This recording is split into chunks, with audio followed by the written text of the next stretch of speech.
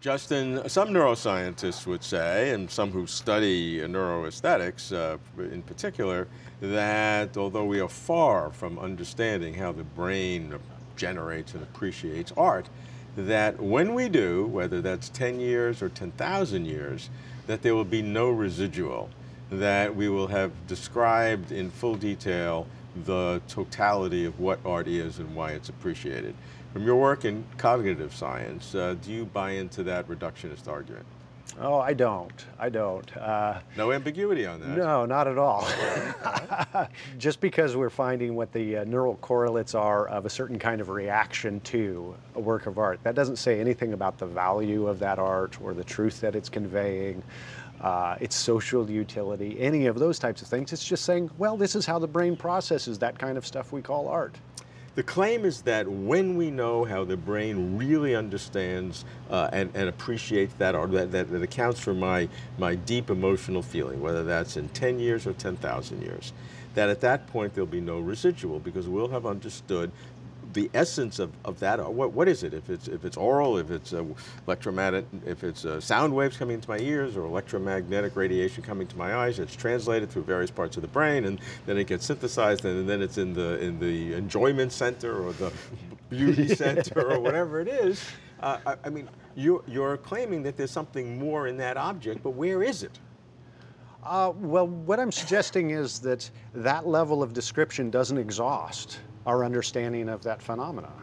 Um, we could play the same game. Well, then let's look downstairs on the sort of brain structures at the at the biochemistry of it. Well, now we've we've described the biochemistry. We don't need that brain explanation. Mm -hmm. Oh well, we let's look downstairs from that biochemistry down to just pure chemistry, and then down to physics.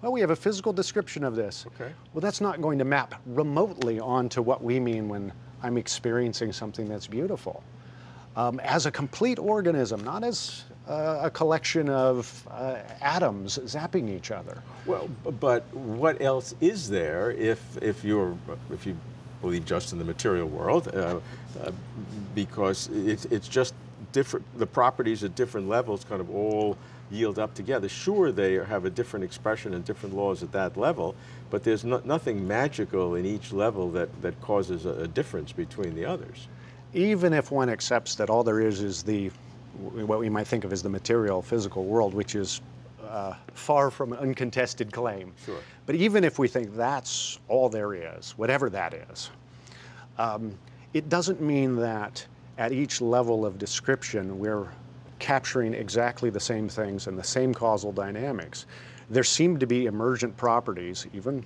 even from a purely physicalist kind of view, that more complex systems have just different features. Correct. They have now, different qualities right. about them than looking downstairs. And if we're saying that the beauty of an art is an emergent phenomenon, then there are two kinds of em emergence, to be simple. I'm sure philosophers have a lot more than two. yeah, that's right. But there's, there's weak and strong. Weak basically says that it looks emergent. I don't know how it happens, like uh, two atoms of hydrogen, one in oxygen. They're both gases, and have, you put them together and it's wet. Right, you get wetness. How does that happen? that's, that's emergent.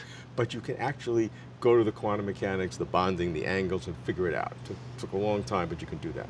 Other things, uh, called so-called strong emergence, some people don't think there is such a thing, but if there is such a thing, in principle, you could never see that emergence. Yeah. You could never explain that emergence. So if, if, is that the claim, that something in art that creates the beauty of it is of the strong emergent claim to where, in principle, it will be impossible to discern that in terms of physical terms? Yeah, I'm, I'm plenty happy to not be optimistic of, about this. Uh, I think because it seems to me the, uh, the function of good science is to move our understanding forward. And once we get to a certain level of decomposing phenomena, like experiential phenomena, the experience of beauty, down to neural activation patterns, and in this case, they'd surely be incredibly complex, we wouldn't even understand it at that point. We might be able to scientifically describe what's going on but it wouldn't give us any meaning or understanding. So what's the value of uh, the neuroscience of art? It seems to me that uh, neuroscientific approaches could really help us discriminate on a more fine-grained basis. Well, what really are the, the cognitive mechanisms going on in thinking about art?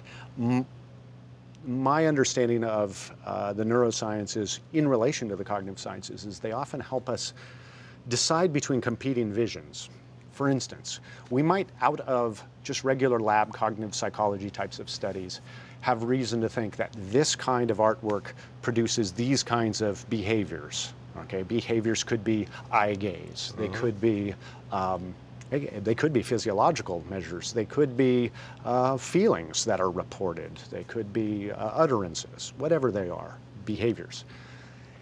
And because of, or through this sort of careful experimental study that the cognitive psychologists are doing, we might be able to propose some kind of mechanism. Ah, well, this art is activating our sense of agency in the following ways, which then produces this kind of an emotional experience, whatever it is. And someone else, a cognitive psych- psychologist, might say, no, uh, uh, uh, it goes this way, and propose a, a different kind of causal structure. The neuroscientists often are very good at helping us discriminate between those two by comparing with known sorts of uh, physiological systems, patterns in the brain.